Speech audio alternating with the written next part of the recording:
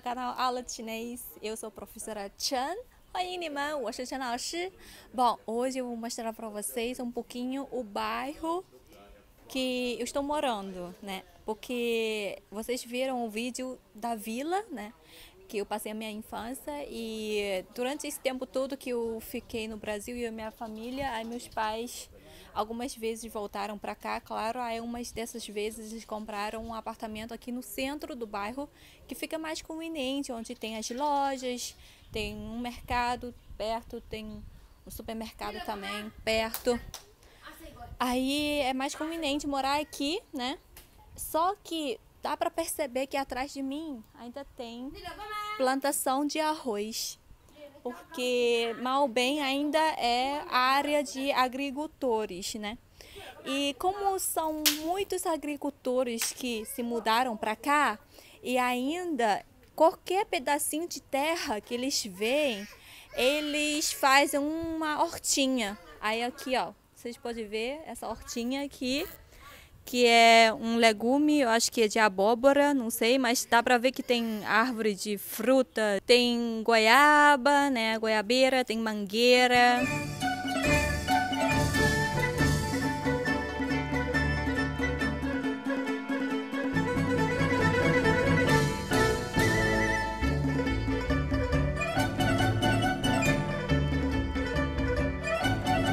Agora vamos mostrar outros lugares desse bairro para vocês. Então, no quintal de vocês tem uma churrasqueira, né? e no quintal dos chineses tem um fogão de lenha assim. Aí eles gostam muito de, de né, aqui ó, quintal, né, em frente da casa, né, no quintal deles.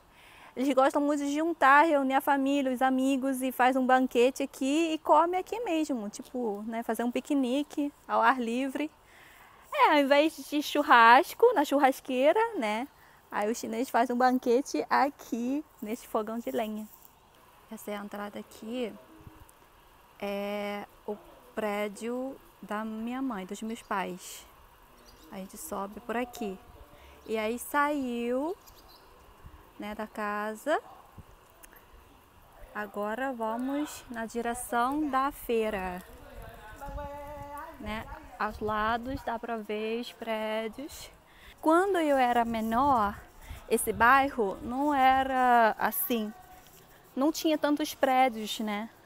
Agora que está sendo explorado essa área aqui para construir mais prédios residenciais para trazer mais moradores para cá. Nesse bairro, na verdade, nessa cidade, né, é, os prédios, os apartamentos são mais baratos, né?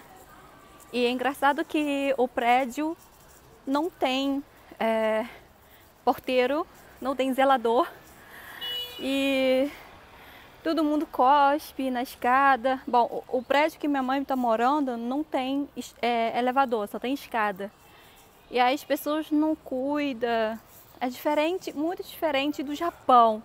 O pessoal do Japão é mais limpo, né? Só que aqui não sei se é, não sei se é interior aí as pessoas não cuidam tão bem assim da cidade, não limpa tanto assim.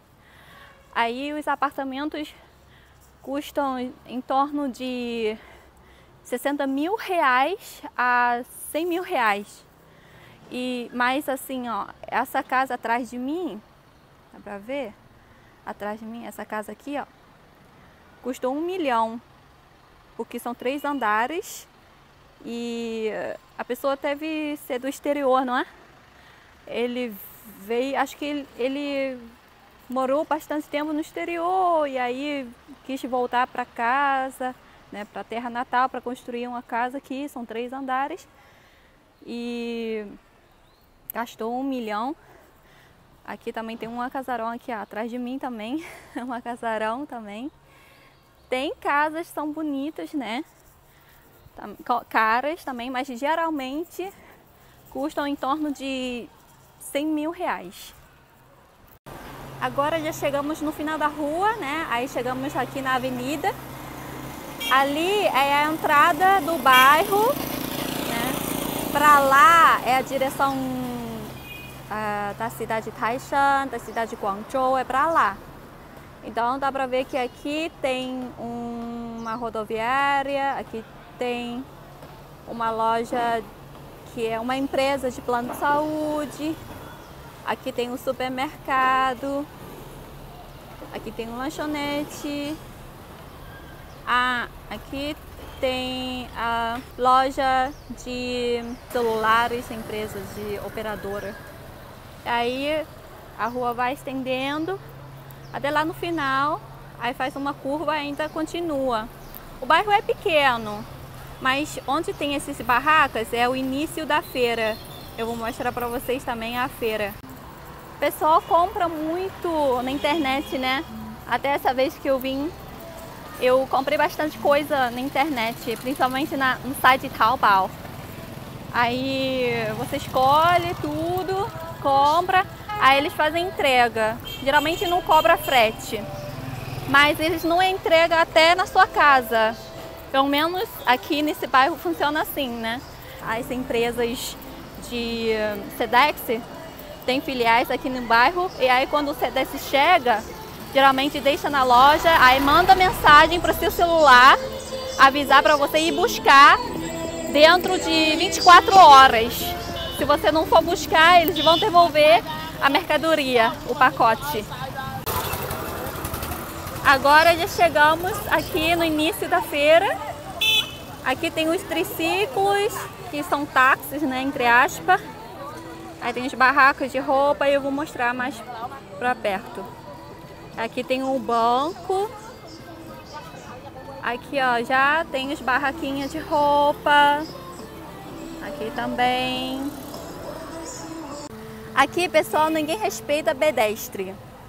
Nem, moto, é, nem motociclista, nem motorista de carro, nem ninguém respeita pedestre. Aí parece que eles nunca foram pedestre, parece que eles nunca são pedestre, parece que eles sempre estão em cima de algum automóvel. Aí ninguém respeita. A gente tem que olhar bem, né, para atravessar a rua com bastante cuidado.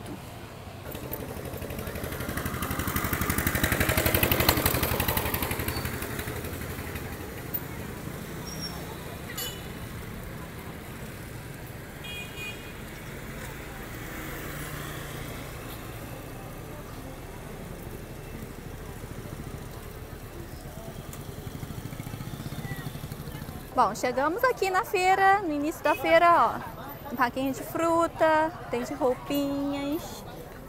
Aqui já tem uma, um carrinho, um barraquinho, um podrãozinho de café da manhã. Acho que é pãozinho ou alguma coisa, não sei. Ó, roupa. Aí anda pedestre, anda moto, anda tudo. Aí as frutinhas aqui, ó. Goiaba, banana. Pessoal, deixa tudo no chão mesmo. Até peixe, gente. Peixe também deixa no chão. Bastante higiênico, né?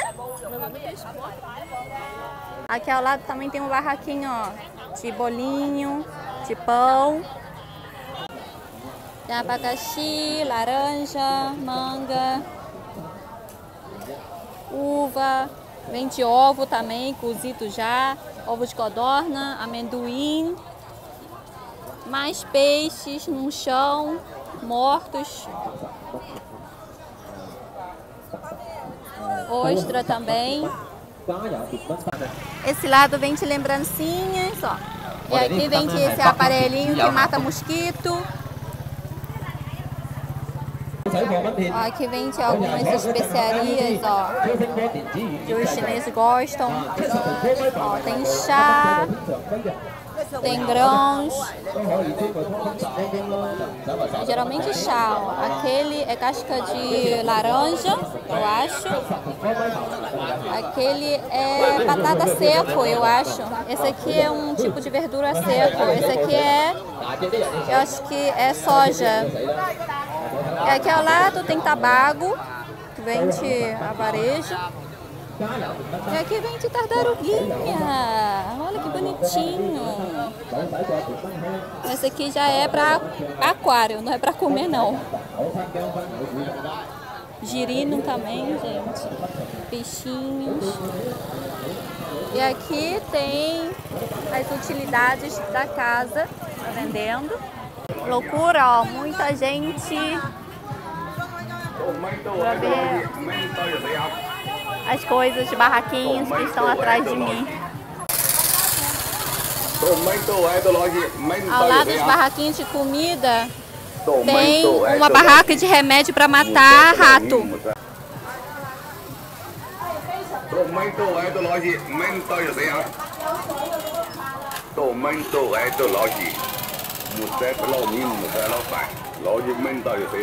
Ah, essa barraquinha que está vendendo os CDs, ó. Deve ser pirata, né, gente?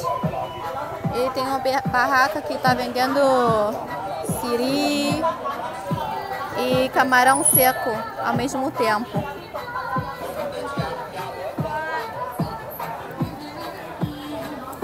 E aqui está vendendo o zongzi. O zongzi é uma comida que se come num festival que é dia 5 de maio, um festival bem tradicional chinesa, mas é, como é uma comida que todo mundo gosta, aí se tornou mais comum, aí já tem todos os dias. Aqui para fazer chá, algumas especiarias, outra barraquinha para café da manhã. Aqui só um material que o pessoal oferece para os falecidos, quando for visitar os túmulos, aí queima em frente dos túmulos dos falecidos familiares. Hum, olha o pão, que delícia! A minha irmã está comprando esse salgadinho aqui, é frito, mas é só massa, é bem gostosinho. É um yuan, tipo 50 centavos. Ó, já acabamos a parte de céu aberto, o chão tá molhado porque choveu um pouquinho hoje de manhã. Ó, essa parte aqui é de céu aberto, né? Mas agora vamos entrar aqui a parte coberta. Na entrada tem uma barraquinha para vender roupa de cama, outro lado é raiz de alguma planta. E o pessoal gosta muito para fazer chá. mais um barraquinho de comidinha. Aqui nessa parte aqui já tem as comidinhas prontas, cozidas. As pessoas podem comprar já para o almoço. Não precisa cozinhar. Para lá no fundo tem os legumes, verduras e para lá dentro são a parte de carne, né? Geralmente carne de porco. E aqui geralmente são as coisas é, secas.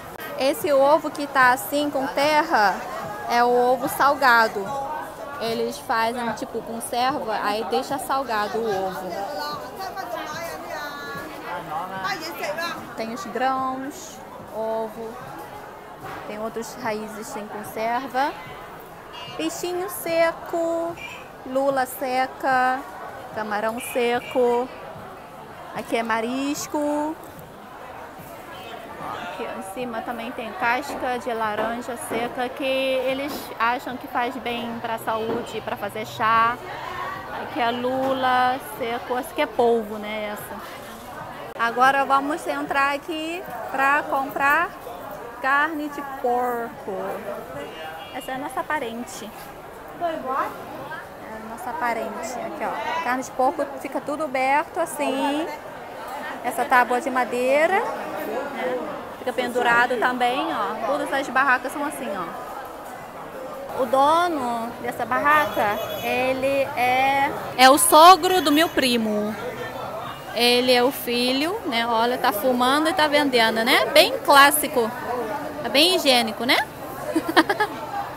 que Deus nos cuide, meu Deus. A mão que já pegou a carne, ó. Pega dinheiro também. Ó, tá tudo certo. Tá, tá de uma boa. Cigarro na boca. Ó, tá bem limpinho. Essa barraquinha aqui tem as carnes de sol, ó. São de porco, tem linguiça, tem a carne de sol. Eu gosto muito, mas eu não compro assim não. Eu compro embalado industrializado.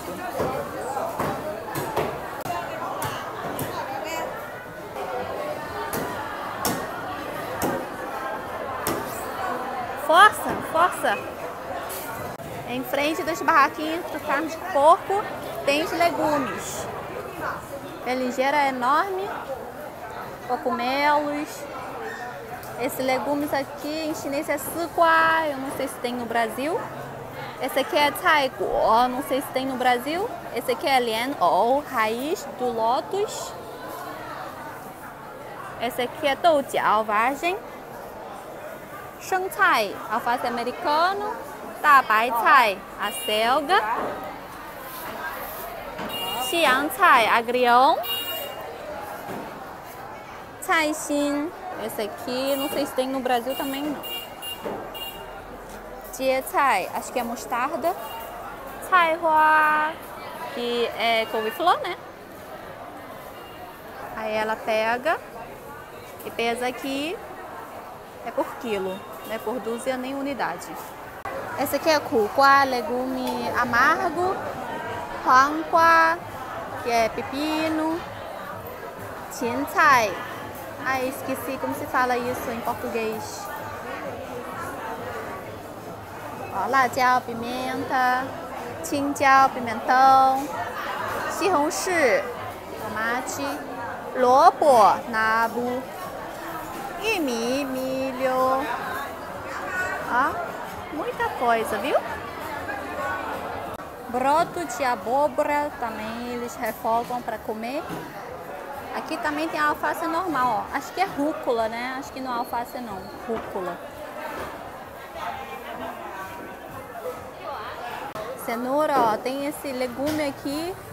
É tipo uma abóbora, só que ele é verde, ó, desse tamanhão assim, ó. Tem gengibre também, alho.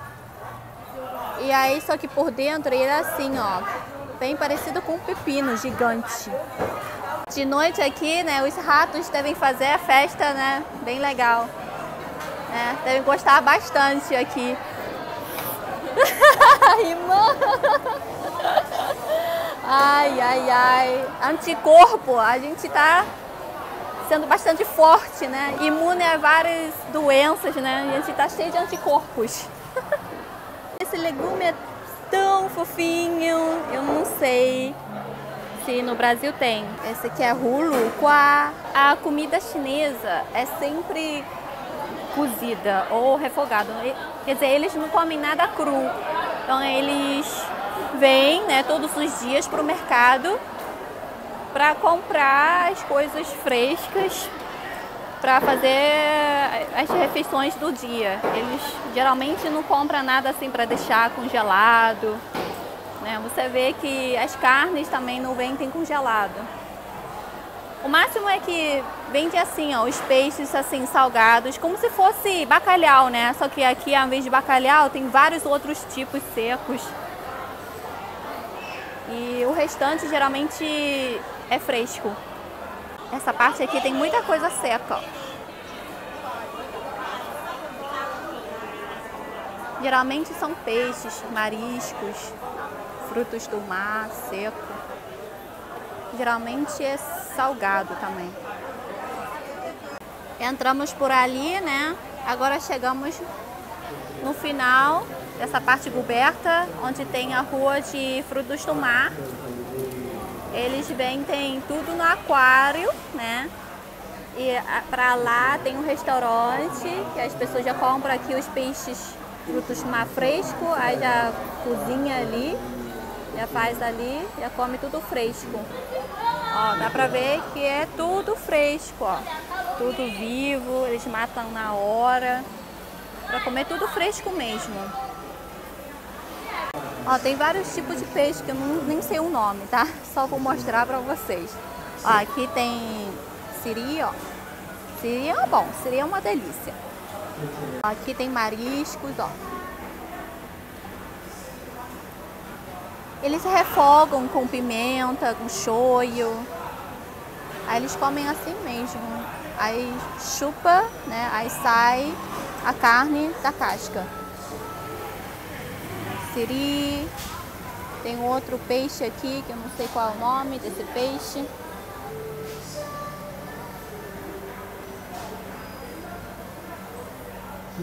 Tem esse peixe tipo espada, mas não é peixe espada, tem outro nome.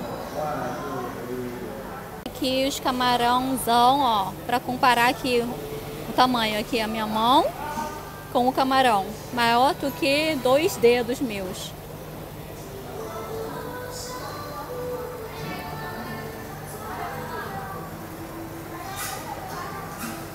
Olha aqui, que lindo camarão azul. Lindo! Deve ser uma delícia. Aqui, ó, alga marinha. Esse aqui está vendendo congelado. Aqui, ó, polvo, marisco. Ó, tem bastante marisco aqui. Olha aqui, ó, ostra. Barraquinhos de sapatos, chinelos. Também tem botas ó, para usar na época de chuva. Essa parte aqui tem os restaurantes, ó. Eles fazem um wonton, fazem uma massinha. Eles colocam a massinha aí, coloca recheio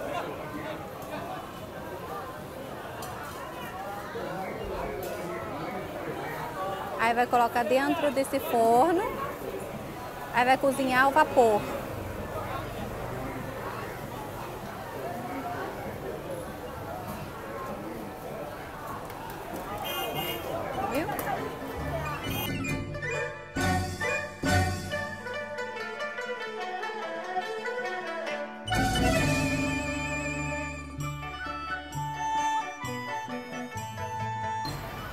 Ó, aqui se pega o ônibus para centro da cidade.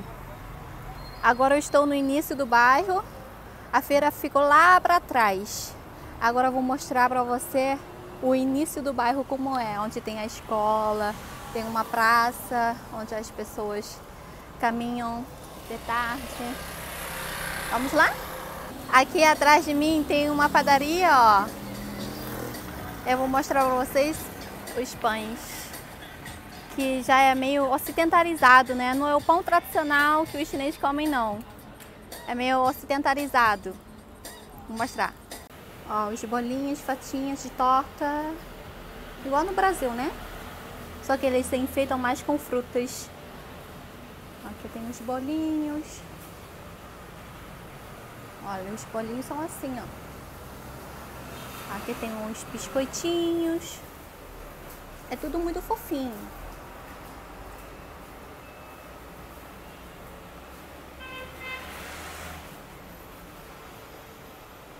Tem umas tortinhas. Ó, tem um pastel de Belém, só que estilo chinês. Cachorro quente. Ó, o bairro ficou lá para trás, né? Aqui é a entrada do bairro, né? Para lá é a direção do centro da cidade. Para a cidade de Guangzhou também. Então aqui, ó, um pouquinho para cá, no início, tem a prefeitura, que não faz nada, né? Não é novidade, né? Agora, se os chineses entenderem o que eu tô falando, vai censurar esse vídeo. Ai, meu Deus. Aí aqui tem uma praça, ó, tem as mesas de ping-pong. O pessoal gosta bastante de jogar ping-pong, mas não é um jogo assim que todo mundo vai assistir, competição e tal. É simplesmente um hobby, pessoas vêm. E além de ping-pong, o pessoal gosta muito também de vôlei, de badminton. E também à noite, nas praças, tem as senhorinhas ficam dançando com as musiquinhas, ficam dançando nas praças, é bem legal. Aqui, ó. Aí aqui tem essa praça Aí esse palco aqui, quando tem festa de ano novo, né? Aí o pessoal faz a apresentação aqui, canta karaokê, dançam. Aí aqui vira uma festa. Aí o evento realiza aqui nessa praça aqui. Ao lado, para lá, tem a escola primária. É, hoje em dia só restou três escolas. Antigamente tinham 20, na minha época tinham 20 como diminuiu o número de criança, né, diminuiu o número de escola também. Para lá, eu vou mostrar daqui a pouco. Agora, do outro lado é a entrada para o colégio. É o único colégio que sobreviveu, que tem que ter colégio, né? Eu fiz um vídeo, mostrei para vocês o colégio onde eu estudei. É o único colégio que sobrou. Antigamente tinham três colégios e hoje em dia só sobrou esse. Aqui ó, está escrito Turro Wenhua Guangchang, Praça Cultural do bairro de Turro. Aqui ó, a praça. O pessoal vem caminhar aqui de tarde. Mas tem muito mosquito, né? Tem muito verde, aí atrai muito mosquito. E aí a prefeitura não, não adota nenhuma providência para prevenir mosquitos. E aqui também tem uma bracinha de esses aparelhos ao ar livre para fazer exercício físico. Também para os velhinhos, os senhorinhos, senhorinhas fazerem exercício, mexer. E aqui já é a escola, ó. É a entrada da escola aqui. A escola é aqui escola primária, né? Do primeiro ano até o sexto ano. E aqui é um hotel. Esse hotel é mais novo. Nesse bairro todo só tem três hotéis. Esse aqui é o mais novo.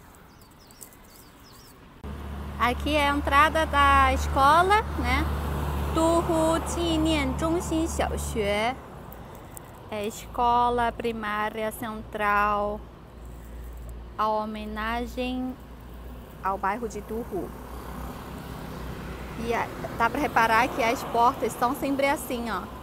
Qualquer empresa, fábrica, estabelecimento tiver um portão, essa aqui é uma porta que fecha para não entrar nenhum veículo. Essa aqui é para a entrada de pedestre, né? Aí quando for abrir, aí ele empurra isso tudo para um lado, aí entra, sai veículos. Mas acho que quando for acabar as aulas do dia, acho que abre essa porta para os alunos saírem.